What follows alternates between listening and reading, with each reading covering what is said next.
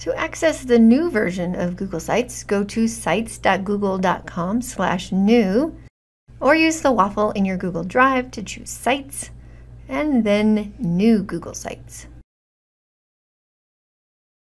Any sites that you have already created will be displayed here, and they are located in your Google Drive account also.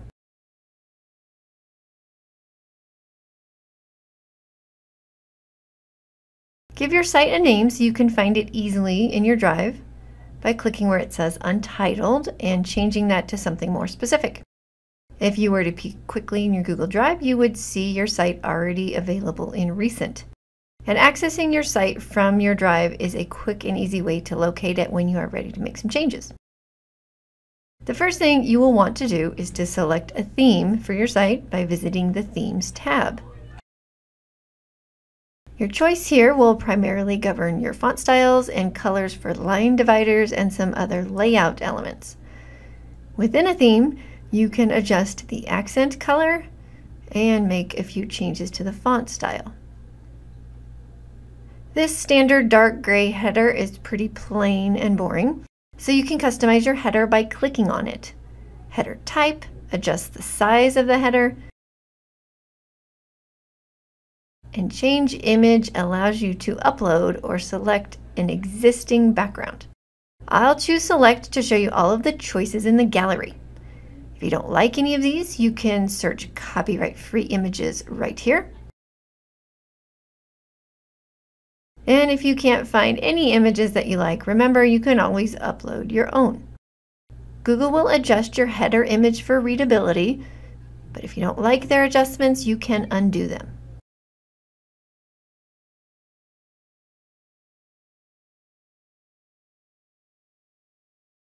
Most websites are going to need more than just a home page. So let's create some more. To create additional pages, go to the Pages tab and then click the Add Page icon. Add as many pages as you want or need. And if you want something to be a subpage, just click on it and drag it onto the name of the parent page. Notice how Google adds a lovely navigation menu for you automatically. You may want different header images for your subpages, and the procedure to change any of these header images is the same as we covered earlier.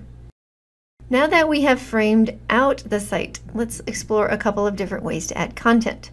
Go back to the Insert tab to access your content creation tools. These are the most basic ways to add items, and of them you will primarily use the text box and image tool.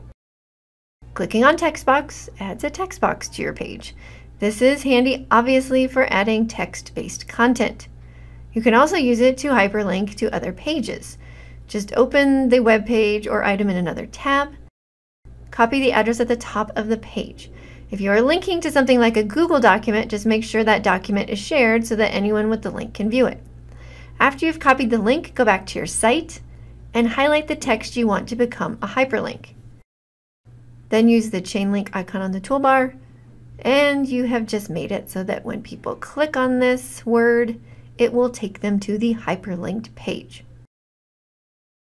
Text boxes can also be resized to make room for a picture or another text box next to it.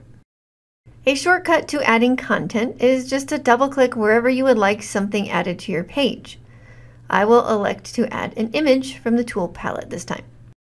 If you've already found an image on Google Images, you can add it by its URL or address. To find an image's URL, just right click on it and choose Copy Image Address. Go back to your site and paste that information here. Alternately, you can search copyright-free Google images or look for images on your Google Drive. Once you've added any image to your website, you can resize it, hyperlink it so that when someone clicks on the picture, it takes them someplace else. You can also crop it using Google's built-in tool.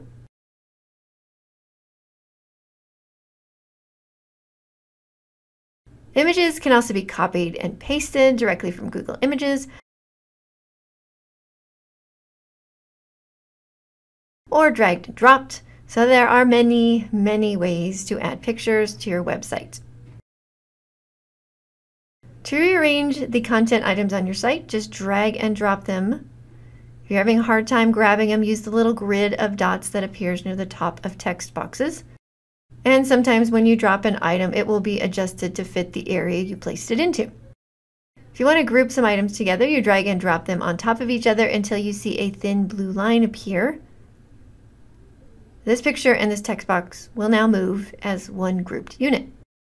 Double click to choose one of the items in this group to move it separately out of the group, which essentially ungroups the items. Line dividers can help create division on your site, and as you build, you'll notice that Google views your page in different sections or chunks. And you can adjust the background style of each area to add emphasis. The background color here is dictated by what you chose in that themes panel. But you can also elect to use an image for a background to really add some visual appeal. Something must be located in each section, so if I delete the text box, my section disappears. But I can add the text box back in and basically put a bunch of empty spaces here to size the section to just how I want it to be. To preview how your site looks, click on the Preview button. It will allow you to see what the site is going to look like on computer screens, iPads, and even phones. That is the very, very basics of creating a new Google site. And I'm going to cover how to use some of the more advanced options over here, like YouTube videos and adding items from Drive. But let me first show you how to publish your site. All of the changes I, I am making to my site are auto-saving, which is great, but nothing is viewable to anyone else until I actually publish those changes.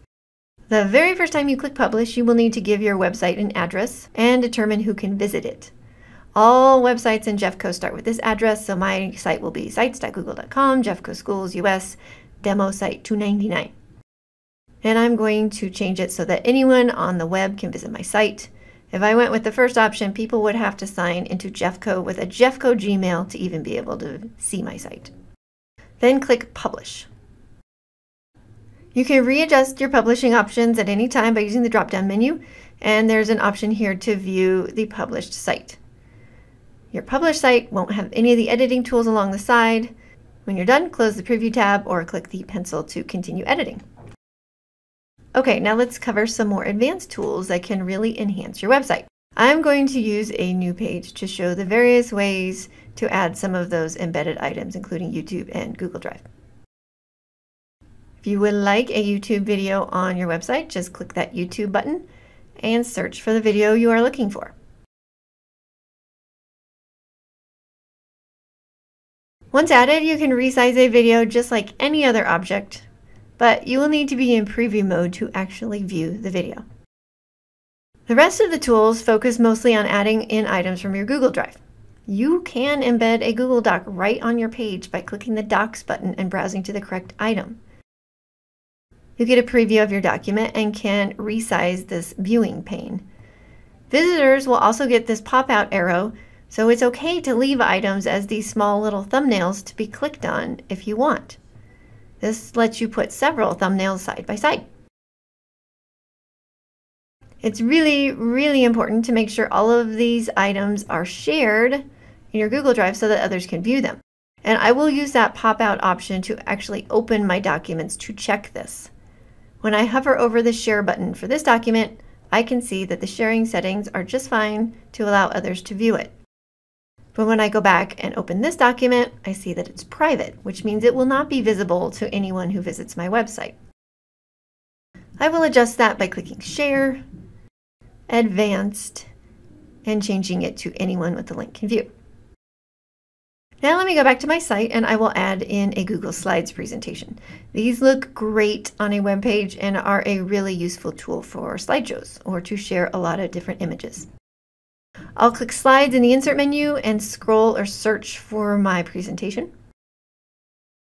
Once added to the page, use the gear icon up here to adjust the behavior of your slides to auto start and loop if that's what you want it to do. As with any item you add in from Drive, make sure it is shared so that others can view, not edit it. You can truly add anything that lives in your Google Drive to your website following the same procedure. You can even add in a shared folder, which is a quick and efficient way to share a long list of items. Always remember to publish your site after you make any changes so that your site visitors see the latest, greatest additions to your website. And to help others find your website, just go to your homepage and then click the chain link icon. This is the link you want to turn into your teacher if you are making this website for a project. That is a quick tour of the new Google Sites. If you have any questions, just come see me during your off block or during ICE.